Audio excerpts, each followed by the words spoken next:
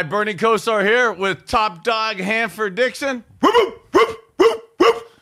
For 58 minutes and five seconds yesterday, I was so excited and looking forward to being here today to be doing the Bernie Kosar podcast with Hanford Dixon, episode number three.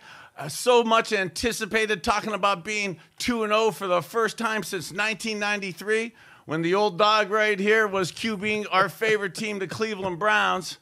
Yesterday, though, at one minute and 55 seconds remaining in yesterday's game, for unfortunately only the second time this century, um, a team has lost a two score, two score lead in the final two minutes of the game. And it's the first time since 2001, which I sadly was our Cleveland Browns against the Chicago Bears. God, um, we had this awesome alumni weekend. We were teed up to take this next step to be 2 0. Um, we had all our alumni in. Um, Friday night, we had an amazing uh, uh, charity golf and alumni golf with our teammates and, and ex brothers who uh, we were on the field together. Had a dinner at uh, the great Robert Jackson's with a lot of our ex teammates and stuff.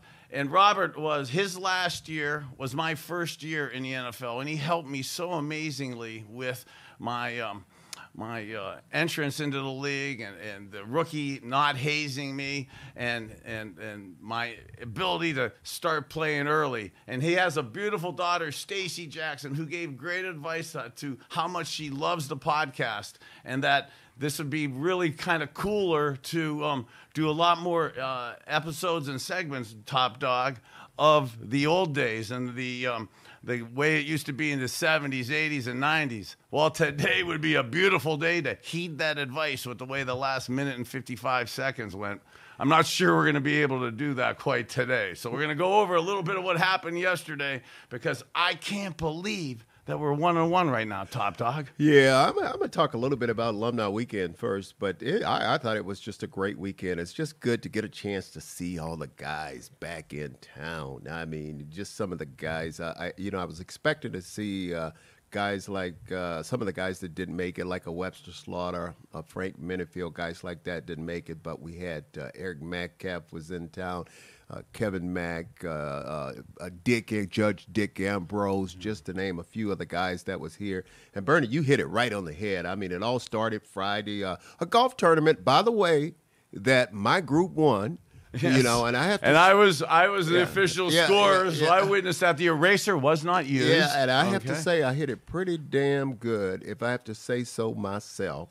But uh, I don't want to give you too many compliments for the for the listeners out there, okay? And and I don't want to screw up your your uh, your betting games in the future, but you absolutely have uh, elevated your golf game.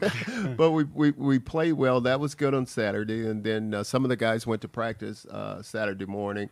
And then uh, we had the uh, dinner uh, over at the stadium where we inducted uh, two members into the uh, Legends Club, which was, and want to say congratulations to both of those guys uh, and their families. And then it all ended up yesterday at the game with everybody and now I'm going to kick it back to you, BK. Well, you know, before I before you, uh, I bring in our awesome producer Dave Big Play McAllister here, um, talking about the alumni guys, and you know, it was awesome the guys who showed up. It was amazing to see some of our ex teammates, our friends like that, our brothers that we really fought and uh, fought with on the field. Um, but Hanford, you mentioned some of the other guys who weren't able to come, and, uh, and not to get into a litany of names and stuff of some of our our ex teammates who, um, from a physical standpoint, from a health standpoint, and heck, bluntly, from a financial standpoint, aren't able to physically and or financially make it to town and, and to make it into um, um, awesome weekends like this. So the, we talked about it in the first couple episodes. We're going to absolutely be doing things from a fundraising perspective to make sure that some of the guys that aren't doing well from a health and wellness perspective we're able to get get um, get help to them because it's it's really it's really as as we get older something that's that's really a, a focal point even on a sad yeah, day yeah, today yeah, when you have such a such a rough outcome to a game where even on Steeler week we still should be two and zero oh heading into it. Big play. What do you want? Big play. Come on, big play. What the hell you doing over there? What's up, Hanford? How we doing, man? Good, big my man. so Gab is on assignment today, not with us today. We thought it would be the perfect time, Steelers week, to bring in an old timer who's actually gone to the games. Gab wasn't alive during these games, so we need the old timer, big play Kenny Miles joining the show. Yeah, guys, as the old timer, hey, we want to hear all those old stories, and we got some great footage from Alumni Weekend. We're working that in over the coming weeks. But as a 62 year old guy who's had a lot of heartbreaks, and you guys were on the field for some of them, I don't think anything can compare with that meltdown yesterday. Worst loss since we came back in 1999. From the fans' perspective, guys, this is a cutting edge show. Don't hold it back. What the hell happened out there? It's time for the opening drive. Oh, I was, go ahead, B. I'll let you have it first. I'll let you. I wanna, I wanna, I wanna absolutely throw up at the outcome yesterday, and I, I don't say that to to to throw digs right off the bat. I don't throw say that to be cool on the podcast and stuff. For guys who put too much emphasis on wins and losses, um, uh, proud to say that that's the type of attitude, that's the type of focus you have to have to get those type W's. Um, I absolutely believe there's no doubt we should be 2 0. I want to be 2 0, and I absolutely want to go over the the ways that what happened yesterday that that really crystallized, especially at the end, what what what transpired to make sure it didn't happen. But it is imperative from a team perspective that the guys the the guys remember the Marty Schottenheimer statements that he used to make with us that the season is a marathon, and as sick as we feel today. Um, the Cincinnati Bengals are 0 2. The Steelers are coming to town It's Steeler Week. They're 1 1. And the Ravens blew a game almost as bad as, as we blew the game yesterday. Wait, Bernie, Bernie, we'll get into all that. Yeah. We got to know what happened at the end. Hanford, big dog defense tell us what happened. Well, God damn it, I'm not going to hold back. I mean, when you look at it, it all started right from the beginning with that damn thing they put in the middle of the field. I think that's where the pro- all the problems start. We are the dogs. And, uh, not that's, the elves. I not mean, the not the elves. I mean, I look around, that damn thing is in the middle of the field. That is the problem. It jinxed us right off the bat. And then after that, I know everything was going to go uh, downhill. But man, it was just absolutely Wow, terrible. look at as we have the play up there, and as we're looking at Grant Delpit on that elf right there. Look at as look at as you see both the the corner, the Denzel to the top of your screen, and and um, Delpit coming off the elf there.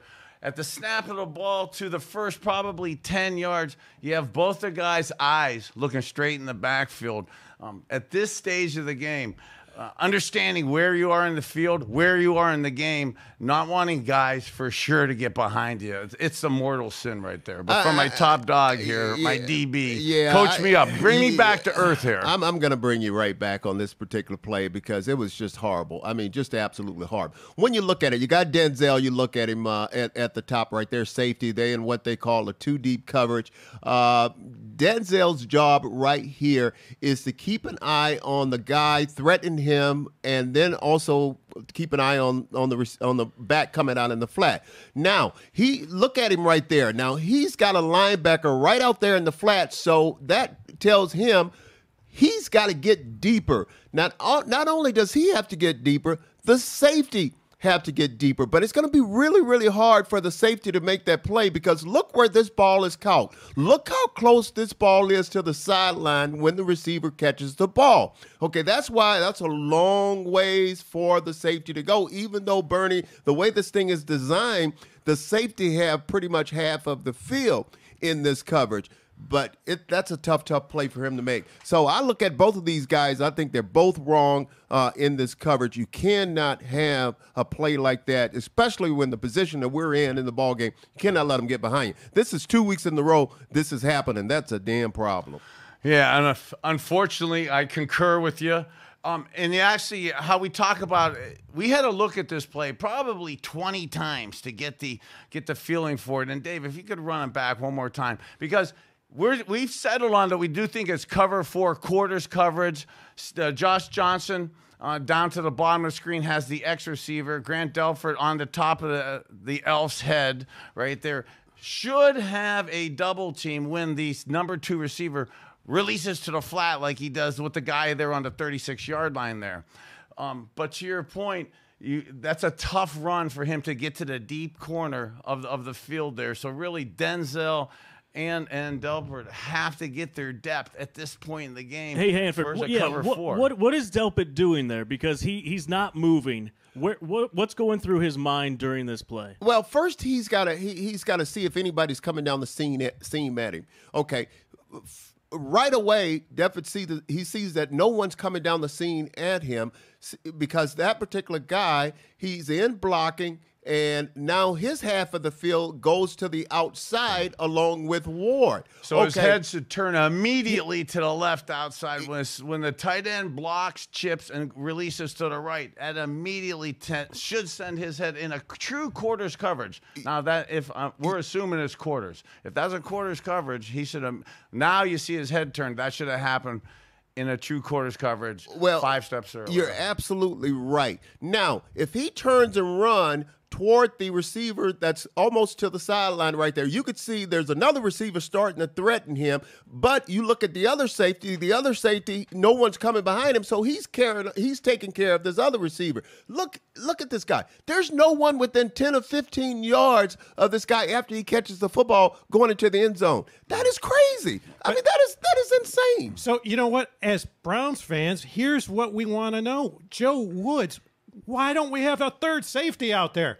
Why don't we put a picket fence up? How does a ball get that deep with a minute 58 seconds? 60. It's unexcusable. Well, you you know these guys. I mean, they got uh, two defensive backs, coach. I mean, two of them. Uh, I you know when you when you when you look at these guys, I mean, uh, this is the second week this has happened. I guarantee you, uh, everybody's getting on Joe Woods. They're giving him a hard time, but I guarantee he probably grabbed. He wanted to grab uh, one of those defensive back coaches by the throat and say, "What the hell is going on here?" Because uh, obviously these guys, for this to happen twice and pretty much the same coverage twice, I mean, that's a problem. Yeah, and and to uh, as players, we have to take initiative and, and responsibility on ourselves from from that perspective of it.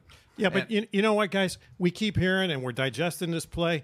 We keep hearing breakdown in communications. We've had that for three years breakdown in communications. Breakdown in communications. The end of the second quarter leads to 14 14 after we dominated that first half.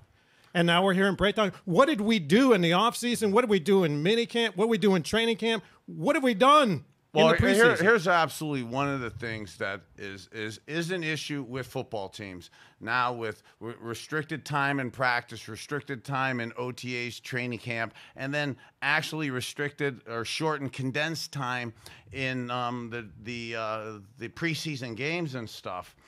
Um, with from from that perspective, the Cleveland Browns. I love our talent level, uh, defensively, offensively. I mean, we have as much talent as anybody in the league. But we said this on the podcast in, on, in the first one. We're the youngest football team in the NFL. We're 25 years of age. It's not making an excuse for it, but when you're maybe don't have your football legs underneath you and you're uh, the youngest team in the league. Your attention to detail your discipline you make mistakes like that you lose your focus a little bit. And Well- those are the type of things where um, you should you know you know your stuff in the heat of the game or in the uh, sitting in a um, a meeting room in an air conditioned room like we are here today.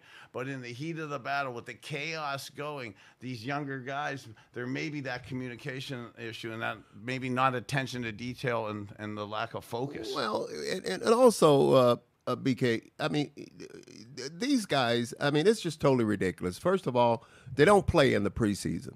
I mean, they don't play. I don't think uh, Denzel Ward or a lot of those guys at any time going into the uh, preseason to uh, uh, play and get ready for the regular season. Uh, I think that's a problem because you, you know they worry about him getting hurt, but football is a you know is a violent sport. I mean that's the chance we take when we put on those pads every time we go out there and we play this game.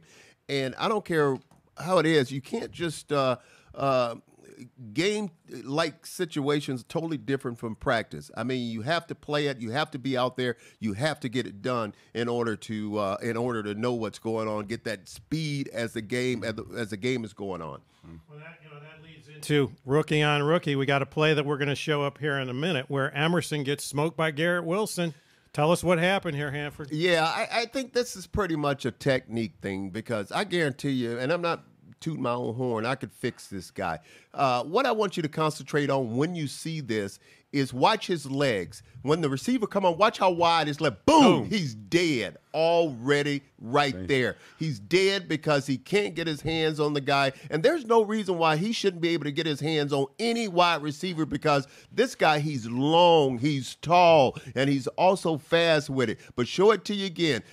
I used to always say it. I used to do a little drill with my feet. I used to bounce, bounce, bounce, and I never let my feet get out, get show, outside of my shoulders. And you have to keep your feet right in there. And if you can keep your feet in there, you're not going to turn, and you'll be right in there, and you can get your hands on the guy. And that was the problem down there. And when you're down there in the in the, in the red zone, you cannot afford to not get a jam on the wide receiver because you know as a quarterback that fade is deadly down there. So the fade is the fade and the release of the fade, especially uh, against press coverage, and and then even more so. Uh, epitomized in the red zone, in the scoring zone, inside the five.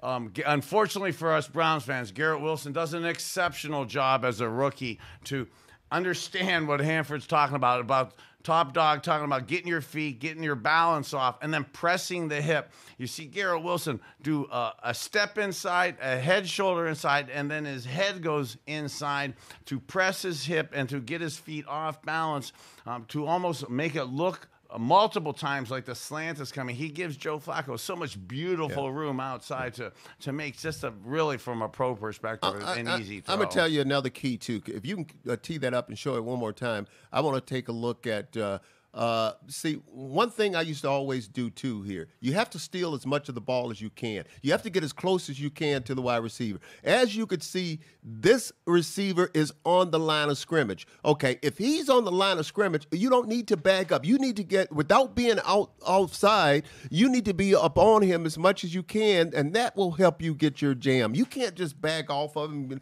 like a guy's in the slot. Now I can see it if a guy's in the slot, then you you, you know he's going to have that little separation Right, with you. And you and you have a better chance of having help Correct. over the top Correct. to where you have that. And, and I joke, uh, I used to joke a ton with you, top dog, and with corners, and I used to use this this phrase a lot that some of the least violent people are the cornerbacks Yeah. on the football field. Yeah. That wasn't you. Yeah. Okay, in press coverage Yeah. and at the line of scrimmage.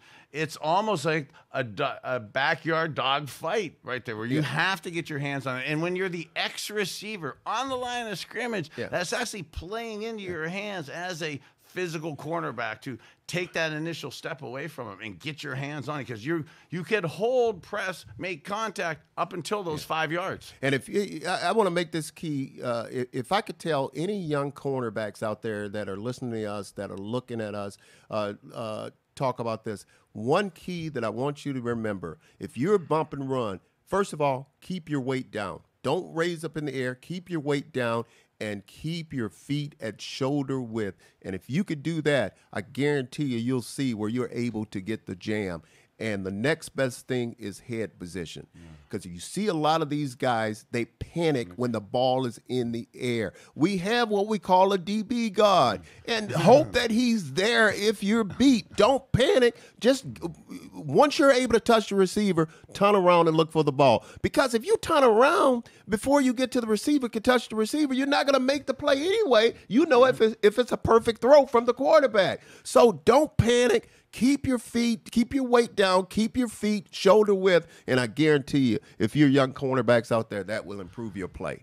Yeah, that's actually awesome advice, not only for young cornerbacks out there, young athletes, um, young football players for sure at any position. What Hanford said before that, too, in terms of not panicking, but what he said before that in terms of keeping your base, keeping your basically your backside underneath you, understanding your balance and stuff. Don't be standing vertical, having a having a bend in your knees, being on the base of your toes. That gives you that lateral ability and that ability to kind of get your physics and uh, getting your initi- uh, your inertia going in the right direction.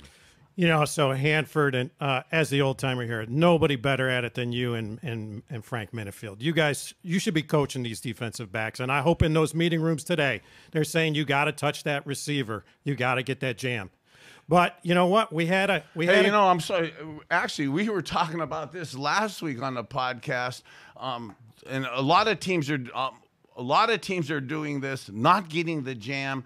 Um, and that's how um, on the slot receiver last week on the 75 yard post to Robbie Anderson, um, the the slot receiver gets a free release up the field, gets on the safety Josh Johnson to create a little bit of that indecision. And I'll say this real quick. I I, I, I think I, I just don't think they're being taught this. I uh, and, and because I, the reason why I say they're not being taught this because I don't see it. I mm. don't see them. Uh, the majority of them, I don't see them doing it. And I think they're actually afraid of the jam uh, because you, that's why you see a lot mm. of them, especially like you said in that slot. All they do is they, turn trail. and they yeah they turn and run. They they open up, and when you open up, then the receiver has got you in, in, in his hip pocket, and he can do whatever he want to you, and you can't let that. You have to dictate what he's able to do. That's why, you know, as an old timer, again, I keep saying it, but we we got to have you go, Hanford, and talk to these defensive backs, Bernie, you on the offensive side of the ball,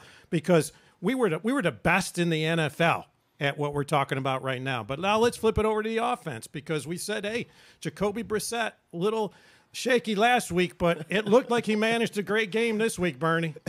You know, d- Well, let me say this. But hold on, hold your thought. Let me say this. 22 for 27, Uh, B- 229. BK, I told you. 43 yards I yards told rushing. You, I told you I wasn't all in with this guy. I like him. I like him, but I'm, I'm not all in with him. I mean, you tell me. I mean, So we are who we are. And I don't mean that. I mean that as a compliment. He's an NFL quarterback. He started a lot of games. He's winning football games. He had a winning performance yesterday. Um, it was drastically improved from a winning performance the week before. Is it optimal? Is it somebody that you want to have week in and week out for the next multiple set of years doing that? Um, he played so good yesterday that I don't even want to overly respond too much negatively to because offensively, that uh, in terms of player production yesterday, that really wasn't the issue. I, I love the, and there's been a lot of talk of game plans, play calling. How do you start Jacoby Brissett and that? Boy, yesterday the way the game started with uh, Coach Stefanski and doing the, the the running game, but really doing the play action stuff, the tight end, the running back, the flats, the screens, the way to incorporate Harrison Bryant, David Njoku early in the game with, I don't want to say easy throws, but Cooper? yeah, yeah, Cooper, oh, well, Amari Cooper with, with nine targets, nine catches, 101 yards. I mean, he showed his dominance in route running yesterday. Um, but to see to see how Jacoby was handling himself, that really wasn't the issue from from that perspective yesterday. Um, one of the things that I, I, I really loved about Jacoby in, in the initial start of the game was him not trying to do too much and and the way he uh, again coach Stefanski and him had those plays going um, at the end of the game uh, there's a lot that could have been probably in uh, as the Monday morning quarterbacks here kind of re- reflecting on that to see um, to see us go, Well, going up 14 or what the did you chance to go up what did you see on that on that interception there at the end? I mean, you know, the pick uh, uh, that he threw, um, trying to bring us back in the glory and win this football game. What did you see on that? Did did he just not see the safety coming underneath him? you know when you're in those situations and you've you've got really desperate situations, you have to take some excessive chances with the ball. Is that a throw on first down that he'd be making with 40 seconds to go in the game, 35 seconds to go? I highly doubt it with less than probably 10 seconds, 11 seconds to go there. You're trying to fit it in there to make to make that field goal and a, a significantly easier field goal from from that point of view. He actually uh, probably wants to throw that just a split second quicker, but but th- that's really the stuff that happens really at the end of the game with that, uh, in terms of trying to make a play when you sh- you put yourself in a situation you shouldn't have been in. I'm just you can say what you want to say. This guy, I'm just not uh, I'm just not all in with him. You know the thing the thing that was tough yesterday that's that's coming out right now is, you know, we're up seven. There's you're trying to get a first down. Uh, the Jets and Joe Flacco give us the ball back um, with third and six with about two minutes and 20 seconds to go. We get Kareem Hunt on a great, great screen call. Again, we Coach Stefanski, Alex Van Pelt, the way they come up with these manipulative, creative personnel groups and screenplays um, and kind of cheap, easy throws um, on third and seven to get that first down. It's a lot to expect, but we get the first down with two minutes and 15 seconds ago. Kareem goes out of bounds on with two minutes and 15 seconds ago. And then on second and six, we get the first, Kareem gets the first down again, goes out of bounds with two minutes and two seconds to go. Okay, now the clock stops. Um, Nick Chubb um, on the 12 yard run, he, he scores, okay, with a minute 55 to go. Now, people are saying, boy, Nick Chubb should have known. He should have taken a knee. And then, and, and in retrospect, today, if the football gods were uh, on top of everything, we wish we would have done that. But well, to say, but to say that Nick well, Chubb should have known that, well, that's a big reach. Well, I, that's the, that's where I'm headed with you because you, you know, again, I told you I'm, I'm I'm not in with Jacoby, but let me ask you a question: If Bernie Kosar is in the huddle shouldn't the quarterback, shouldn't those things, the quarterback, obviously it should come from the sideline, okay, to remind these guys of these different situations and things like that.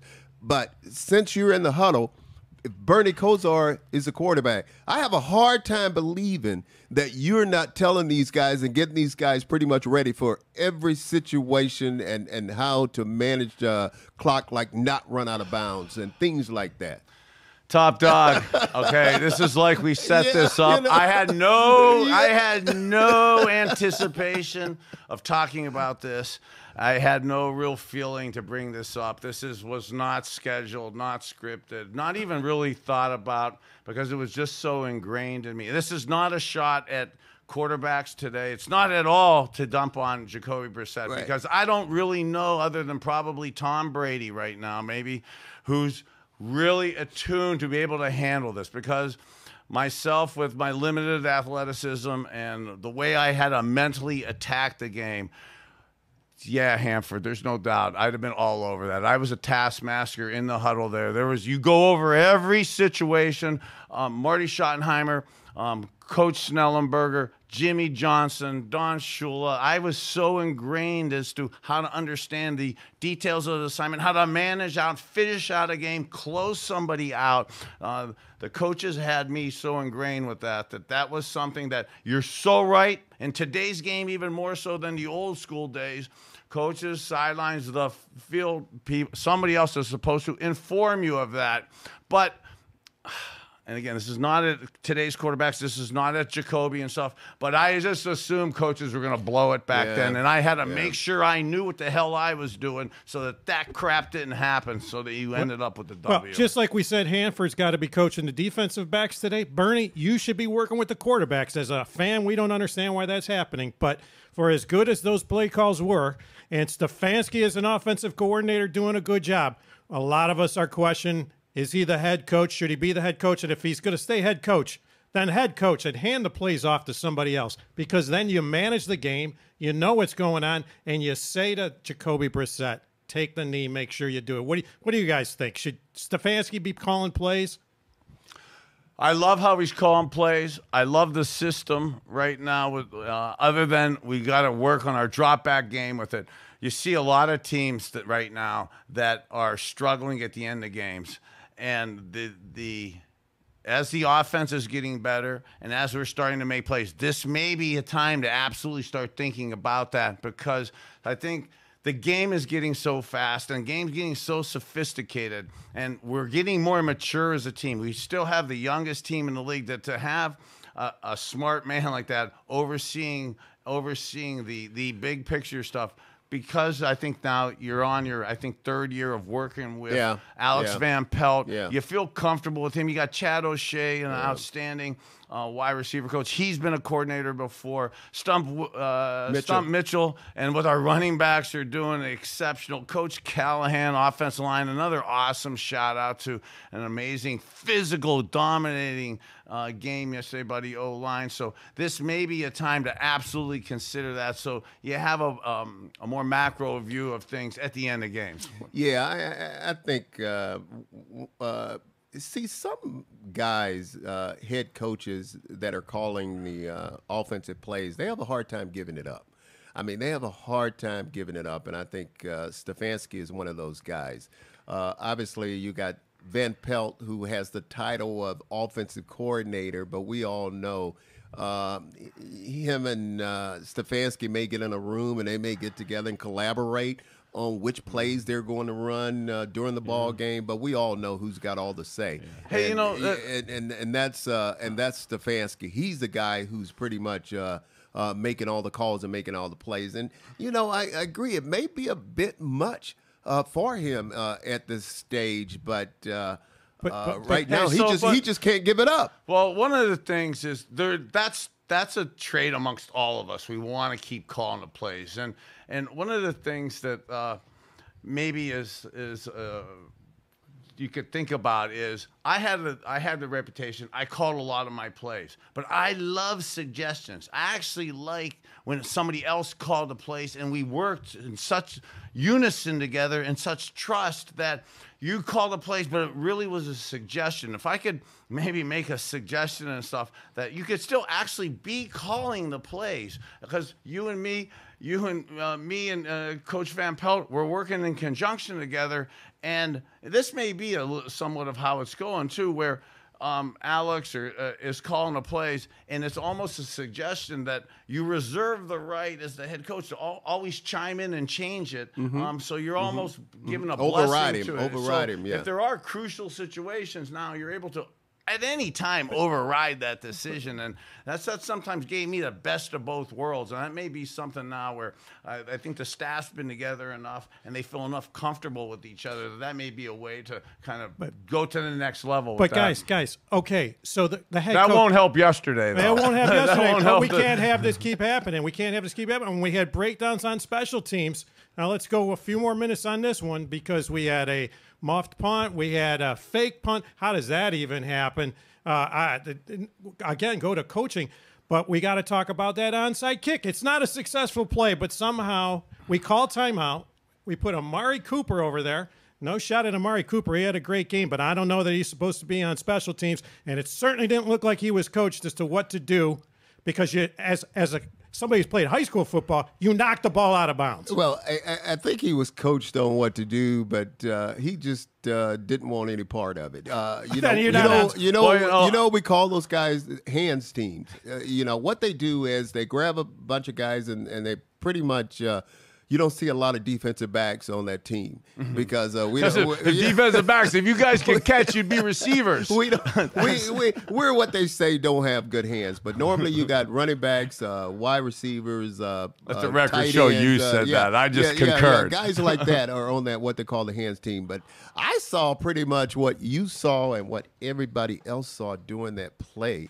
I mean, during that play, Amari Cooper did. When I say he didn't want any part of it, he didn't want any part of it because you have to be a tough guy to be on the hands team because those guys are coming at you full speed, throwing their bodies out there, and they are trying to get the ball. And that ball came to Marty, Mari Cooper and looked like he just instead of jump trying to jump on the ball look i don't know whether he was trying to get out of the way or turn his head or something but if you don't if you don't want to get on it knock the ball out of bounds that way we still have it Well, the top dog, we were we were on a halftime yesterday with uh, Josh Cribbs. Okay. And, you know, I, as a quarterback, I'm probably the least qualified guy to talk about special teams and onside kick play. But the Josh Cribbs had said that he had thought, knowing that the, the kick was going to go to the left, that more guys should have been over there um, with Amari Cooper. Um, as that ball was going there. But you're right, being more physical to get the ball out of bounds at any cost is, is typically Coaching- you want people that, that coaching- want to do that. Coaching, Well- coaching. That's where head coach. You know, Well- you're not calling offensive plays. You're going. You're in those meetings, Bernie. No. Well, I say, you know, if you say, I understand what Josh is saying, and and and he should, he should, he is a special teams guru, but it, I think if you load more guys over there on that side, I think the kicker, if he's a good kicker, he's not going to do it. He's going to run up there and he's going to kick it to the side where he's got the better chance of uh, getting the ball. It is. So, it's almost. It probably is almost do- like yeah. a, a check with me on offense. I'm Yeah. go. I'm running the ball on these check with me's to where the guy there's less guys out there, and and to to Hanford, to your point, or to to angry Ken today's point on that is, um, Brant, the the special teams coach for the Jets is a guy named Brant Boyer. Brant Boyer was a teammate of mine with the Miami Dolphins at the end end of my career, beginning of his career. Then became a uh, player and, um, and a coach at times here for the Browns when, when we came back in the early 2000s. He's an exceptional. He outcoached us yesterday. He's an exceptional young man, an exceptional uh, football player. He was one of those guys that got drafted, um, was going to be a training camp guy, got, got cut and stuff, and was an overachiever, crazy on a special team. He, his coaching and what he did with his team, whether it's the fake punt, the onside kick, um, that was that was top, unfortunately for us Browns fans top tier yesterday. Hey, I know we're talking about the uh, onside kick, but what about Cade York, guys? I mean, Oh, come man, on. as a he Browns- goes from he's he goes from the penthouse. Guys, I mean, he was, he- you know, he's a rock star, and then eh, eh, because if you look at it, the score actually would have been 31-31, but he just Hanford, as a fan, when that when we miss an extra point as a Browns fan, you know, you just know it's going to come back to haunt. It's amazing whether it's at the be- end of the game like that or the beginning, the the ramifications and and with that as a Browns fan, and not to be the temple of negativism, Yeah. as a guy who's massively wants to be positive in this fourth quarter of my life, but to see the um, even though we should have probably taken a knee and not got into the end zone, still to have got the end zone to be Yeah. up 13 with a minute Yeah. 55 to go, Cade York coming in, Yeah. the formality of the the extra point to be up 14 as we're all getting ready to put the W in, in the win column to see that materialize like that I part of me said heck that's a bad sign but this may be the one time an extra point doesn't doesn't No, cost us. Bernie, as Wrong. a fan, as a fan, I Wrong. knew it. I knew it. I knew it. So now it's a short week. It's Steelers week. Before we get to the Steelers, guys, fans want to know what's the locker room like today? What are the coaches saying? How do we put this out of our minds and, and move forward? Oh, this one for me. Um, this is it's Steeler week, and as disgusted as I am as a as a fan, as an ex player, I'm even more disgusted at, to wake up this morning or to go to bed last night as a player and coach, knowing I let one get away, knowing I was going to be uh, two and zero and leading the division, leading the conference, best record in the NFL. So that absolutely has me sick. I know though today when you wake up. Uh, and again, we're the youngest team in the league, so I'm assuming this is we were more of a veteran team. We um, and we understood and we kind of policed ourselves with this. But it's imperative to understand today that we have Thursday night football. It's Steeler week. We got a nationally televised game. The Steelers uh, lost their home opener yesterday. They're one and one. They're not singing roses in, in uh, Steeler land today, talking about what's going on with them offensively.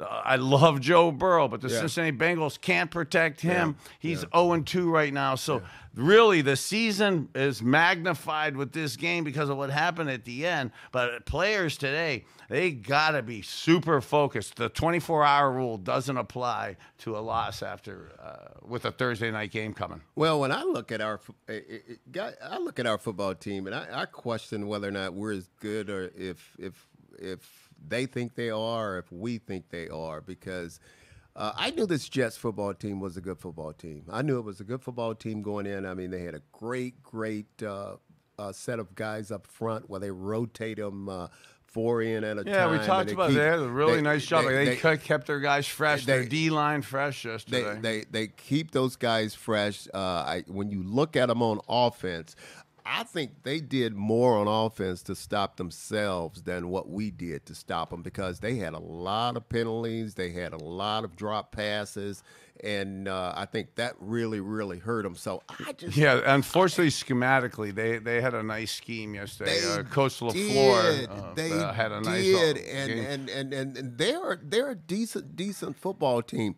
But getting to this week, this is a short week. I agree with you. This is a short week, and you're right. I mean, we we just we just have to forget this thing. This one is gone. We lost it. It's gone because the Steelers are coming in here, and I'm telling you, they're gonna they're gonna have they got a nasty attitude because they lost just like we lost. I think the fortunate thing is we have them at home, and we don't have to mm. travel, so that's a good That's- thing. that's it's- imperatively It's, im- tough trying to travel on a short week. Yeah, that's imperatively important on these Thursday night games is when you have the home the home game with and you know and as you as we're saying this it, it keeps kicking in my head the words of our awesome uh, head coach Marty Schottenheimer.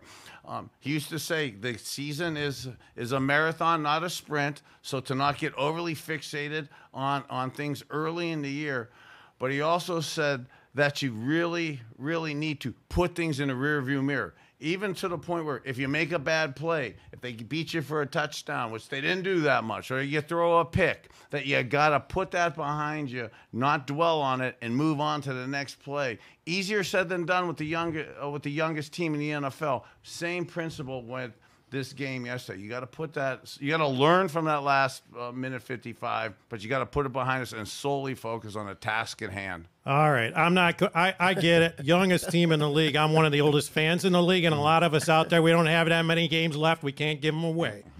But as those fans were booing as they were leaving the stadium yesterday, we'll put it out of our minds and get ready for Steelers week. The vaunted rival Steelers are coming to town.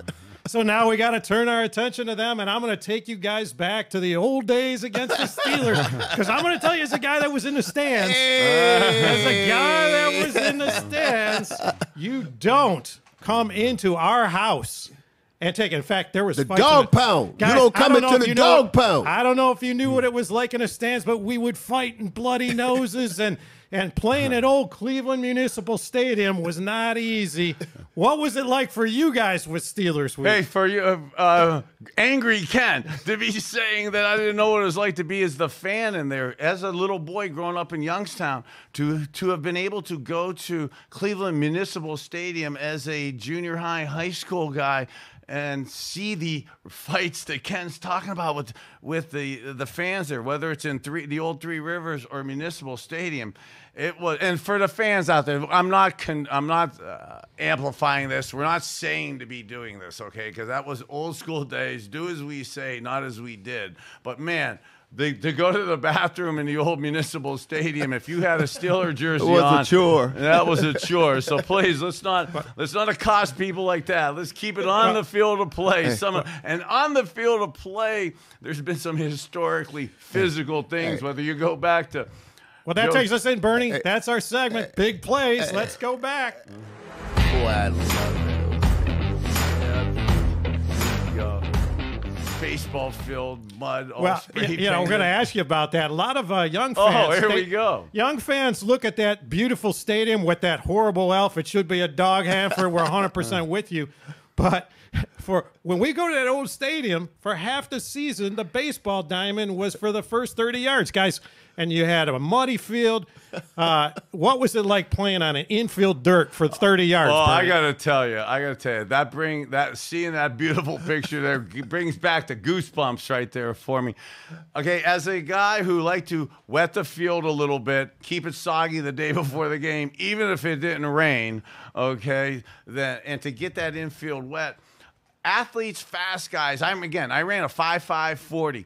Okay, I was slow on fast surfaces or slow surfaces. So to have that that I muddy, thought you ran a four five. Oh yeah, for the about twenty five yards. Only fun, problem was I had fifteen more to go. but to have that field muddy like that, to have that uh, because it really is a landfill there. So it used to flood all the time in in the locker room. It used to be so soupy and wet out there. It slowed the fast guys down. So I was always the same constant speed. So the athletes came down to, to my speed with it.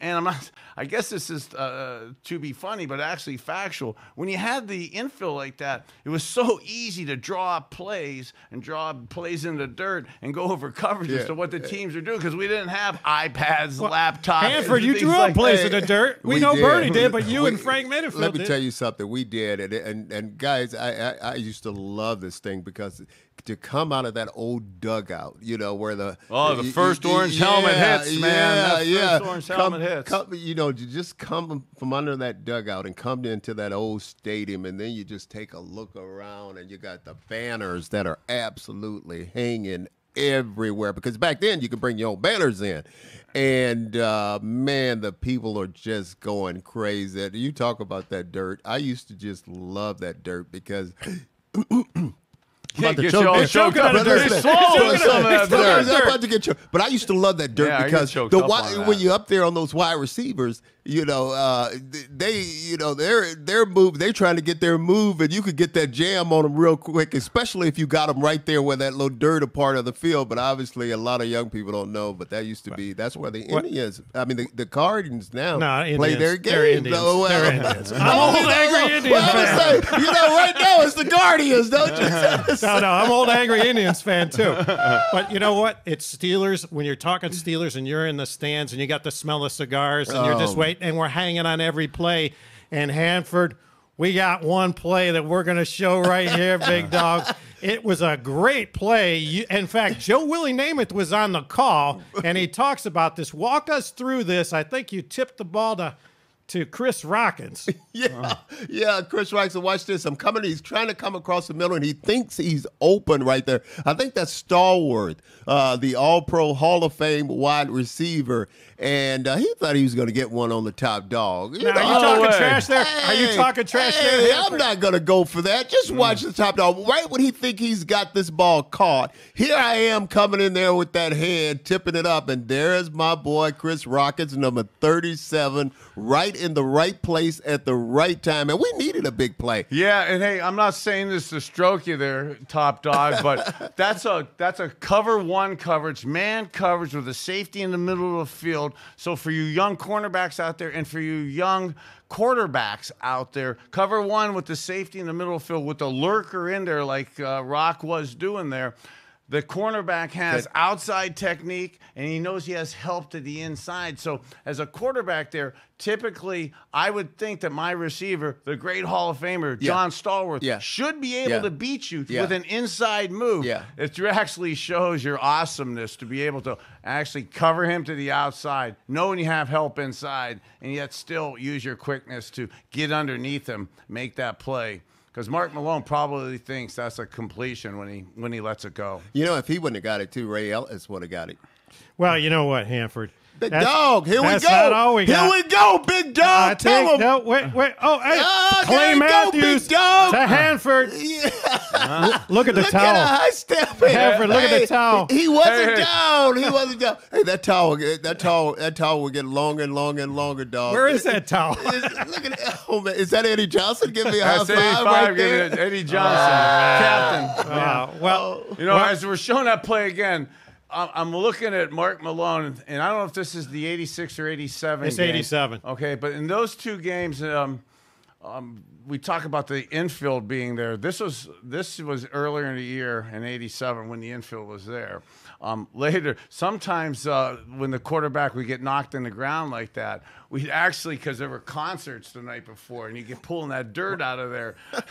in, in one of the Steeler games, you pulled a lot of things oh. out of your out of, out of your face mask. Oh, oh yeah, well they were still left over in the stands too. Let's show that play one more time because Hanford. There were some old timers back then that are saying, "Look at Hanford carrying the ball. Hey, big Watch dog. how he's holding the ball." I turned into a running back on this play. Hanford, you're, you're holding the ball like Brownie the Elf at half. Oh, dog. No, no, no, no, no. look, look at him. Look at him. High stepping too. Look, dog, High throw, throw it away, dog. Throw it away. throw it away. Go to him. Look at the fans. Look at the fans. I think we intercepted Malone six times that game. Six times that game. But now let's go back to 1986. This is where uh, Browns Steelers and Bernie take this away. This is that pass to Ozzie Newsome that really set us up. Wow, this is great memories. Actually, I'm I'm sidetracking to my last statement. In this 86 game, this is later in the year and late November, actually the week of my birthday. So some of those signs, I remember seeing happy birthday Yeah, Bernie yeah. signs there. The but of the night before, Friday night or Saturday night before this game, there was a Pink Floyd concert. so as me and as we're getting jammed into the dirt and stuff, there'd be little like little roaches and joints left over from the party favors from the night before. Fortunately, it didn't affect me because I was able to come up with these Well- type of plays in the game. And as I'm looking at that, God, the goosebumps get going. Was that a blitz? Were they- so that was back in the I, in the old days where you had a bare defense where you had eight guys at the line of scrimmage. It's a run formation that I'm out there. I'm trying to trick them that I'm running. They load up the box with extra linemen and the safety. The, the Steelers, I noticed during that preparation preparation of the week. Anytime they put two linebackers uh, over Ozzie Newsome and one outside, it always was a man blitz. Hey, okay? did you guys hear Birdie? Did you guys catch that? What's that? He said he was trying to trick him that he was running. Now, did you mean did the run? We were going to run a run play, or were you going to run it? Well, that would really trick them. They wouldn't believe that I was going to run it. But getting in a, That's my, my point. I said yeah, you yeah. said you was just trying to trick Bert, him. Bertie could tell him to play. so They couldn't stop right. him. They couldn't stop Bertie. Tell him, Bertie, you tell him to play, and so you do these it. were the games. These were the games where you really tee it up, and you would tell them the plays and stuff. So that because they never believed you, so you'd able to kind of play that mental chess match. But they had Ozzy double teamed here, and I noticed this late in the week that anytime Ozzy pretended to block, getting his pass set like he does, he sa- stands up real quick. The guy over him blitzes. so coming. if we delay, just like Coach Stefanski had a couple tight end delay screens yesterday. If we delay that versus a blitz, Oz is going to be completely unblocked. So we get a cheapy play on that audible there for a touchdown. I, I talked Lindy into putting that in, uh, me and Gary Danielson, on a Saturday morning. And, and for young quarterbacks, I don't like putting audibles in and plays in at the last second and not really practicing them then. But we put that in like that for a special play to take advantage of a mistake in their um, in their coverage. Well, Bernie, we know you were really the offensive coordinator and you were changing plays in the huddle, and we love that. But that game was nip and tuck, back and forth, and take us through the ending. This is that Webster Slaughter catch. Did you call this play? So so actually, that's the exact same formation and the exact same And we win right there. That's the exact same formation, the sack, exact same defense. And as you saw from the beginning of the play, you saw 53 and 57, one on Ozzy, one outside of Ozzy. So being the greedy quarterback, I put again this play in. God, look at how that's just like yesterday. So I put that in like that. I go to the exact same play that we just saw in the previous play. I'm going to hit Ozzie Newsome again in overtime to close out the game, and I'm doing the exact same play. And I also, uh, I, I also believe you could run multiple plays that are good multiple times in a game, but. The Steelers were really smart too. Hardy Nickerson, uh, Bryan Hinkle were their cornerbacks. The great Rod Woodson was was there. So they had picked up that I had uh, audibled again. They knew that I was trying to get him and trick him again to Ozzy. So at the last second, at the last second, I knew that they had figured out my audible. So I did it. I didn't have time to change the audible. So back then, I'm able to talk to my receivers without using words. So Webster Slaughter had a had a cornerback on him who I didn't know his name and I didn't know his number. So if I didn't know his name, that meant for sure I should throw on his ass. So it was kind of my insurance policy to give Webb give Webb a fade, give him a takeoff because when all else fails, throw it deep in what, these games. That's what I was going to ask. Was that a fade or was that a double move over there? Webb was so- like you faked him. Or, Well, it was it was almost like the uh, Okay. the uh, intentional grounding that we got away with with Jacoby at the end of the Carolina game. I was gonna throw it to Ozzy, so the fake the fake was only that they tricked they got me, and I was trying to uh, throw to Ozzy, but they had covered it, and they were trying to bait me into throwing one of those those plays where they cut. we were so excited. I, I want you to play that one more time, but play it to, all the way to the end. We were so excited. Uh, watch this now. The offense is on the field, and we'll watch all of a sudden how number twenty nine make his way over there. watch this. Oh, we loved it. Yeah, We at loved the it. end over there, BK. You know, we're we're so excited. You think you guys well, were that- excited? well, that's not you, oh, Hanford. No, you'll see it in a Reggie minute. Twenty nine is uh is, is, coming. Is, is There is. I know what? love it. We were so happy. good old days. The fans were screaming, we're yelling. Those were the good old days. That's what this segment is about. And now we got to go this Thursday play the Steelers. Let me ask you: Do the players know the rivalry? Do you think that? I know you guys knew. Do the players know how much this means to the fans, guys? I think definitely. I, I think they have to. Uh, I, you know, I, I think there there's someone in that building uh, that know how important this game. I think number one, it's uh, it's a division game. Uh, both teams are in the AFC North. Very very important team. But guys. I mean, you know how when we played BK, when we played against those Steelers, I mean, we, it was all odds. That I live and die for this game. A team that that's what I, I live and say. die. I grew up in Youngstown. There was no more important game than this. Okay, and I I was the guy that all, only mattered was getting to the playoffs and giving yourself a chance to win the Super Bowl. And I say that, and I'm being hypocritical because my father, I grew up. My dad said, if you lose every game, it doesn't matter as long as you win the two Steeler games. And growing up in Youngstown, Ohio, this game mattered, and I did not see us win enough of these games as a young boy. And when I got the opportunity to play here, and then to be able to get them not in the playoffs, to see them not playing in January, the thought of them that they're going to be watching me after all those Decembers and Januaries where I watched them play, I lived for this game. I still do. I'm gonna tell you a quick story, and, and and talking about how important this game was. You know, and I and I I never forget I was a rookie, and I remember the guys uh, talking about, "Hey man, we're getting ready to play the Steelers. This is a big big game. This game is like no other game." So. Um, uh, I, I knew it was a, a big, big game. We were playing the Pittsburgh Steelers. I came the year. Uh, this was my. I played one year with Brian Sipe. Brian Sipe was a quarterback. I came in, and uh, I never will forget this. Uh, our offense was on the field. Steelers defense. Brian Sipe ran over toward the quarterback, and Jack Lambert was the linebacker. Jack Lambert hit Brian Sipe. I'm telling you, I think as hard as I've ever seen anyone get hit. And the antennas went up on me right then and there. I said, "Hey, whoa, this this is for real, man." Yeah, this But is this I, is. I mean, this and is that's for young kids out there. This is not the appropriate oh. statement, but this is how we thought. It was kill or be oh, killed Oh out there. yeah, yeah, yeah, yeah. Very, very important. You know, and I, I told this story. I was at a, a, a buddy of mine, the great Bill Cosgrove, at his 60th birthday party a couple weeks ago outside of Pittsburgh, and I had quite a few Steeler fans up uh, come up to me, and I, I told this story where growing up in Youngstown. Um, People come up and say, "God, you gotta hate me. I'm a Steeler fan, and you're a great Browns fan." And Unfortunately, maybe when I was younger, that, that statement may have been a little bit truer. but as I get into the late third quarter, early fourth quarter of my life, I, I want to be more therapeutic and a healer and more thankful and blessed for all the great things I've been given. And so I say to people, no, I don't hate you at all. You're, you're awesome Steelers. You know, you've got six Super Bowls. You've won a Super Bowl ring in every generation. I wish I had my Super Yeah, Bowl ring yeah. on today. But, you know, you got six rings and stuff. So you, you've won in every generation. Except the nine years I kicked your That's ass. right.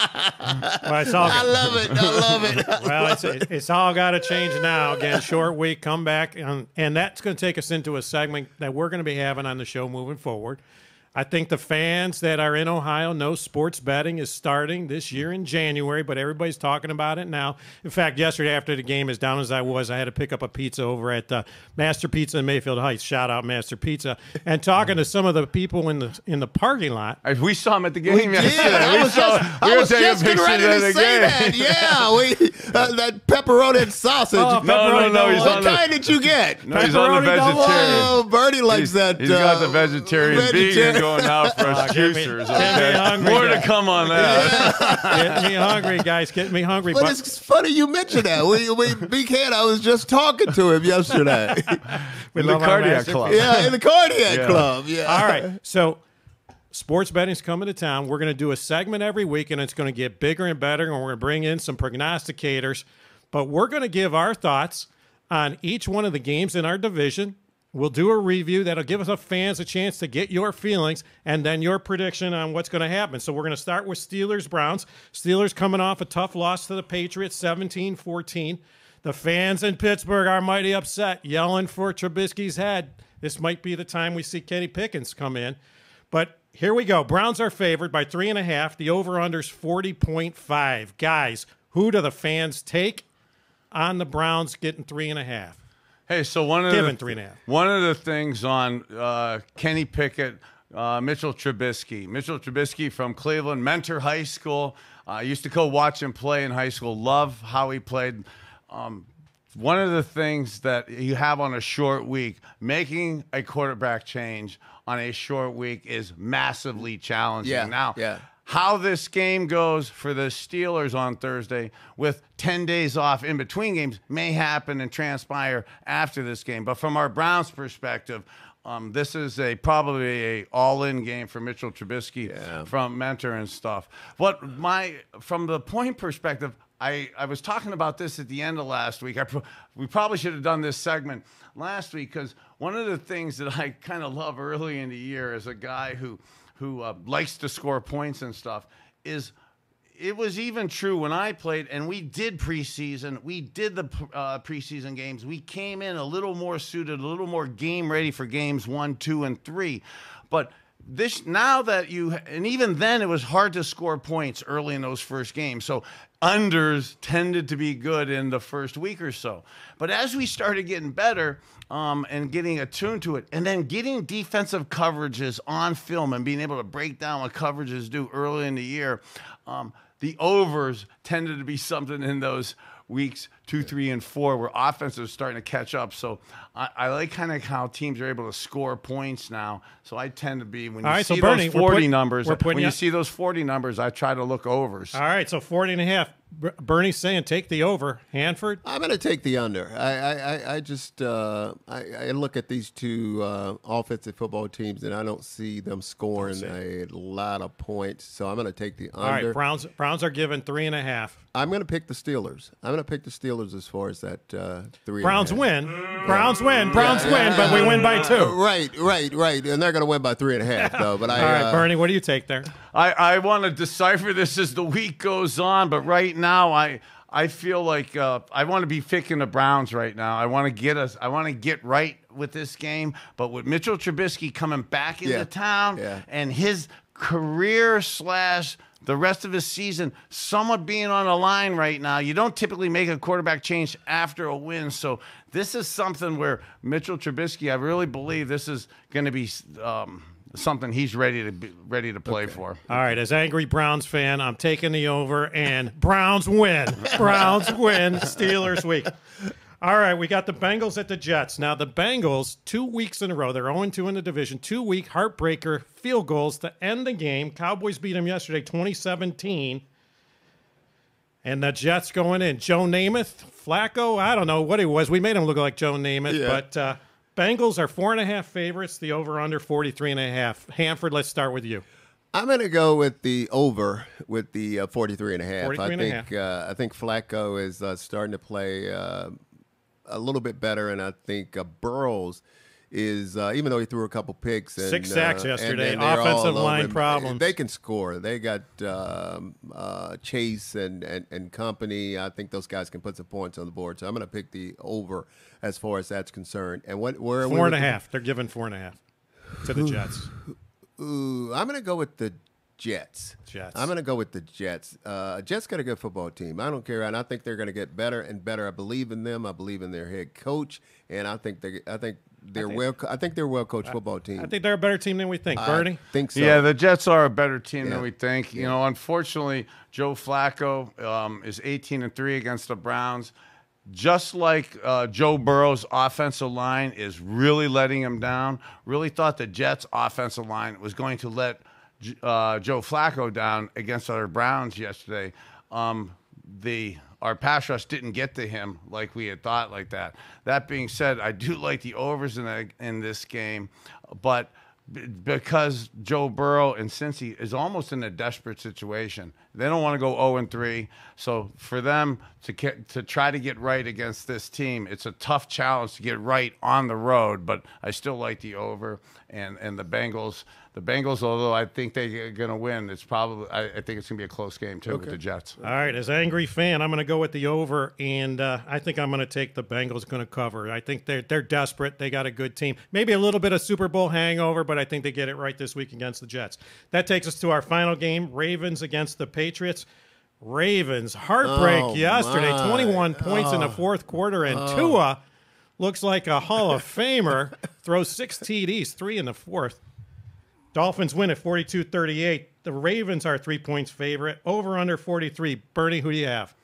You know, that's a yesterday is as disgusting as we feel as Browns fans today.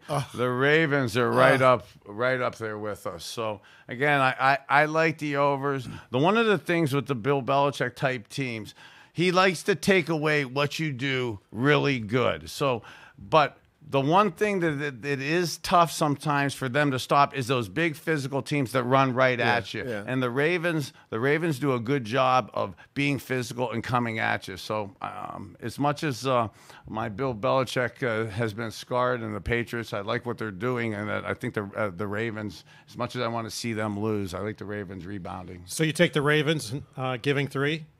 Yes, Okay, over under 43. over. Over.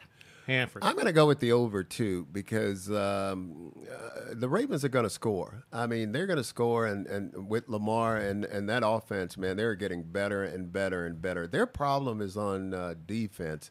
Uh, obviously, they got rid of uh, Wink Martindale, their defensive coordinator, and Harbaugh went and hired. Uh, uh, his brother, uh, defensive coordinator from the University of Michigan, and they are just having problems uh, uh, on that defense. But saying all that, I still think uh, you talk about get right. I think uh, they will get right. So uh, I'm gonna I'm gonna I'm gonna go with the Ravens. Well, We're, you- we're also, uh, as much as we're Browns Yeah, fans too, yeah, we're, yeah, we're. Ozzie Newsome Yeah, yeah, disciples yeah, too. yeah, we yeah, love yeah, Wiz. yeah. I, I love Ozzie, but I can Yeah. never root for the Ravens. That's the old Browns. That's a story. Hey, uh, are we day. rooting? Are we rooting or using financial wherewithal Right, here? I'm Okay, angry is Browns this fan. hard? I root, I root, So you can't let that. Uh, Oh, no, I let it cloud I me. know it, I let got it, I let, let it cloud me. You got. Patriots got a running game. Patriots all day long, and I'm going to take the under at 43. So Wow. we're, we're going to have a lot. Well, I think you know what I think. I think Belichick's going to try and slow this game down. He doesn't want the ball in the offense of, of, of the Ravens, and uh, Ravens got defensive problems. Can I, you tell me who's calling the plays over there? I don't, I don't know. man. Is it a defensive coordinator calling plays? A patriarch? Or what, what, Oh, but we do know probably there what we talked about there Yeah. of if Bill's not calling the plays in in New England, he does have the right of. Of, of final say. So Yeah. if he's got somebody giving suggestions and stuff, almost like we're talking about possibly with, with Coach Stefanski, there's a there's a way to kind of do a hybrid that sometimes works out, but and other times doesn't. Bill Well, will- you know what? As as much as we might say what we want to say about Bill Belichick, one of the greatest coaches, and he knows how to run a last two minutes. You don't see him blowing it with time uh, mismanagement. But all right, guys, great show. It's Pittsburgh week. I want to remind everybody that if you want to catch the, the Bernie Kosar show with Hanford Dixon, you could catch it on the Big Play Network. Find that on Twitter, find it on YouTube, website, TikTok, all the different social media platforms. And now let's get the final words. It's the two minute warning and one more tease. After the two minute warning, we're going to have overtime where we're going to diagram a few plays. Stay tuned for that. Two minute warning. two minute warning. Unlike yesterday, we're gonna stay on our stay on our game for that.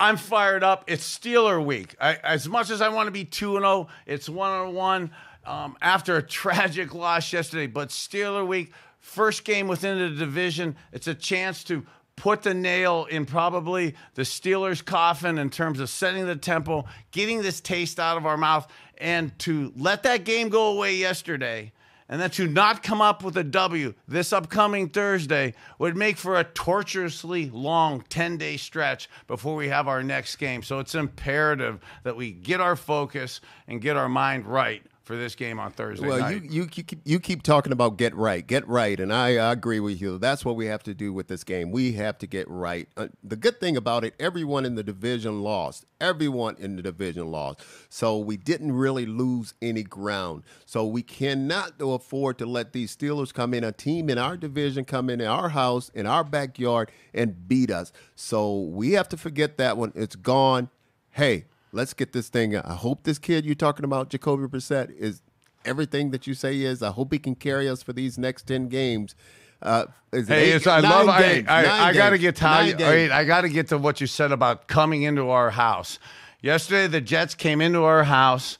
Um, we did not close our door at the right time to get them out of our house. It's imperative that you establish your will and you establish a culture where anybody who comes to Cleveland, Ohio, knows that coming into our house is going to be met with a complete annihilation of the game. And to let games slip away like the this past week and then to not take advantage of a, a nationally televised game against our number one rival the pittsburgh steelers it's sinful. So this is a tempo setting culture setting game for for early in the year Good show, dog. i'm loving it man Oh man, let's get rid of that thing in the middle of the field, though. All oh, right? it's been a top dog out there man you matter go browns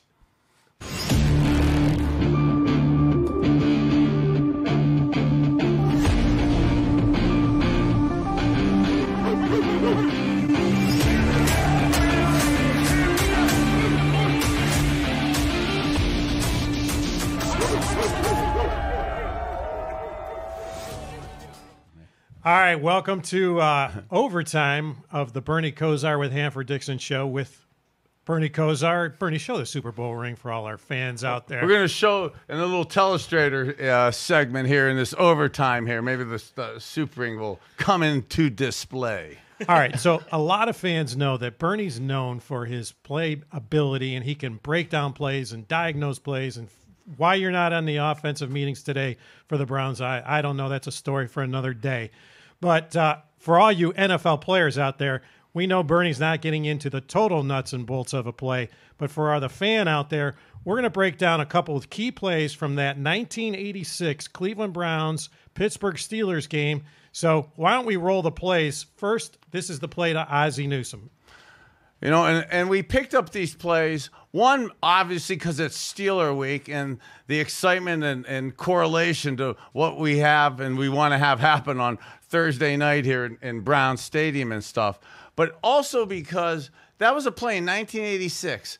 But yet, some of the schemes that are that are happening defensively out in the NFL and in college are absolutely still transpiring and happening um, today. So even though it seems like 40 years ago, some of the things that work today um, or work back then still work today, and some of the core principles of that. So back in the old days, for a team like us that was two backs, like we saw um, with our Cleveland Browns, the Nick Chubb Kareem Hunt uh, dynamic duo that we have happening. We had the same thing back in the 80s with Kevin Mack and Earnest Byner, um, Eric Metcalf, uh, Leroy Hoard. We had a really good plethora of running backs and stuff. So teams like today, like we're going to be seeing with our Cleveland Browns of today, wanted to stack the box. Very similar back in the old days against us. They would stack the box, and there was a um, back in the '85 Bears won the Super Bowl with uh, the '46 Bear defense. So that was kind of the rage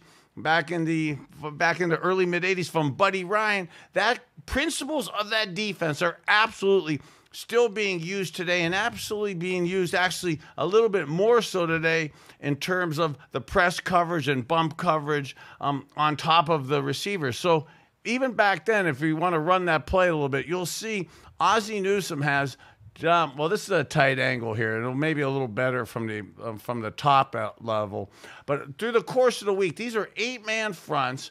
And when Ozzie Newsome had two tight uh, two linebackers on him, um, it was Mike Merriweather and Bryan Hinkle. I still remember 53 and 57. I didn't tell them this when we were playing, but they were two awesome, awesome players. But uh, the smack talk wasn't. I didn't want to give them compliments like that. But on uh, the whole through the whole course of uh, the week of preparation, I would see that formation and.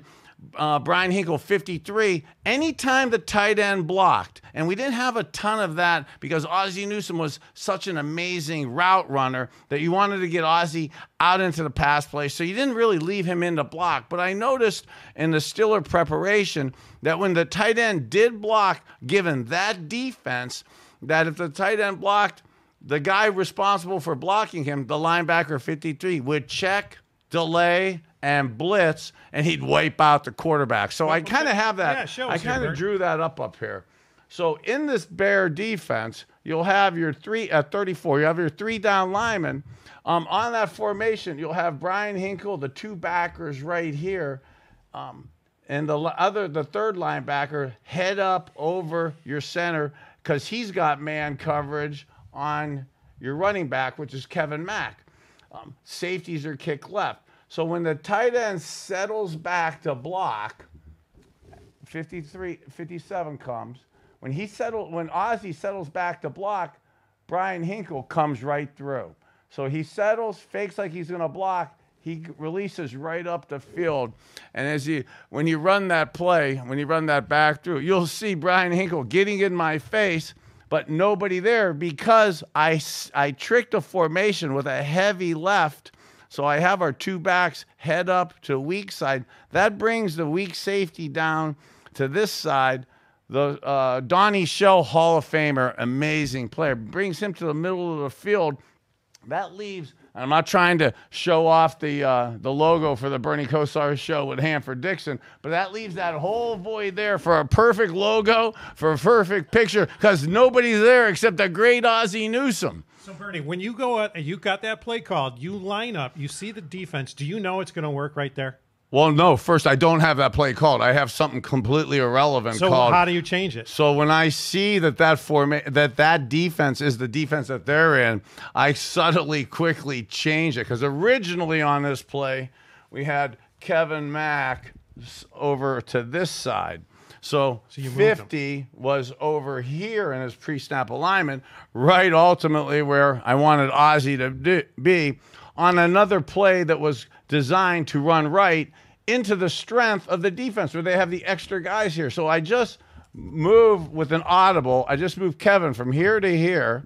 And then instead of stepping this way, I have Kevin check and block this way to block the guy off the corner. That sends number 50 to the left, which opens up the void for Ozzie with the safety going to the top, the weak safety going this way. This was this was stealing. So Yeah, and I don't know if that play actually shows it, but Kevin Mack throws a great block on that uh, defender coming around the end. And what I really love about this was, besides it worked, it got us a touchdown. Ozzie Newsome's streak was in, kept intact of uh, consecutive games of catching plays and stuff. But that was early in the first half of the game. And, and Dave, I don't know if you want to kind of swing to the second play, but the exact same situation comes up in overtime. And you can see from this view a little better Good block again. the tight end has Ozzie has 53 Bryan Hinkle on him, 57 Mike Merriweather to the outside of him, which is amazing. I can't remember what I did two days ago, but I can remember those guys like it's clockwork. So I'm a I, I audible to that to that anticipating that I'm going to do the exact same thing I did in the first half, and I tried to do this audible a little quieter and a little subtler, like I wasn't audibling, but the Steelers, as much as I hate to admit it, uh, besides awesomely talented, they're an awesomely coached, intelligent team. So I went to the well one too many times. They figured out that I'm doing. Look at Bryan Hinkle. He sees Ozzie settle, but this time he doesn't take the cheese. He doesn't come. He stays on him. I'm like, oh God, I'm screwed. Um, so that pump wasn't on purpose. That was, oh my God, Bryan Hinkle, you got me there, brother.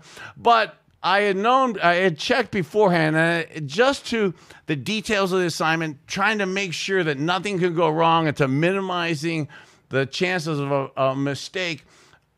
I wanted to make sure that I had an insurance policy, and I looked to my left. They had the great Hall of Famer Rod Woodson to the to the right. Um, there was a cornerback to the left. I'm not saying this to be mean nor to be funny, but somebody was hurt, and the new cornerback in there, I didn't even know his name. So in the NFL, if you don't know the guy's name, you throw on his ass immediately. So when they figured out the play like that, I had slipped Webster. I didn't have time to ch- rechange the play to check my audible to their audible. So um, you've heard us talk about this on the air a little bit, but off the air a lot. I ha- I could actually talk with my receivers without using words, with just eye contact and or signals. So um, all of mine, I wore this shirt last week, The Rock on it. All of my receivers, whether it's the University of Miami or the or the Cleveland Browns, know that if you get the rock, okay, you are throwing a, you are getting a fade. And what we were talking about about releases versus press coverage, thou will get open when you get the rock. And I was able to slip that to Webster um, to make that throw to win the game and close them out. You know, one one quick point here before we leave this. You talk about the great Rod Woodson. As a fan, we worried about that guy, but tell us, Bernie, he never got you, did he? Okay. As a as a ex quarterback, as a quarterback who went against the great Rod Woodson, played him twice in college. He was the University of Purdue at the U, University of Miami, and then for him to come to the Steelers and to have those those games that we had against him. He's an All-American, Hall of Famer, amazing player, amazing friend, and I I never let him know that I thought about him. Um, focused on him all the time to the point where proudly he never got an interception from me and our team. And that was that was something that his greatness and his ability actually made us better made me better because i was able to come up with some really cool concepts of route running because rod was such an amazing player that it's still it wasn't being run much in the league back then but you see it a lot today double moves stutter takeoffs to get him to bite and try to get something over his head. And then he was so good and so smart that just stutter takeoffs, double moves weren't good, that uh, would come up with extra plays like double moves to where you did double stutter takeoff comebacks because he was so great. And that was something that I'm really proud to have been able to handle. Bernie, you won again in overtime. You're a winner with us. Break us down and take us out. Take us out on Steeler Week. Going to be two and one. You matter. Go.